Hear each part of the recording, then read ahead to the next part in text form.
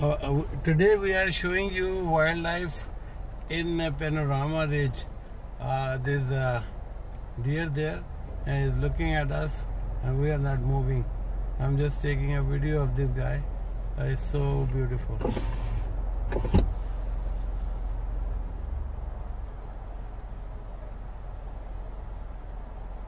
He's not moving. He's staring at us. This is amazing. He's not moving. Now he moved. Oh, there he goes. Now he decided to mind his own business.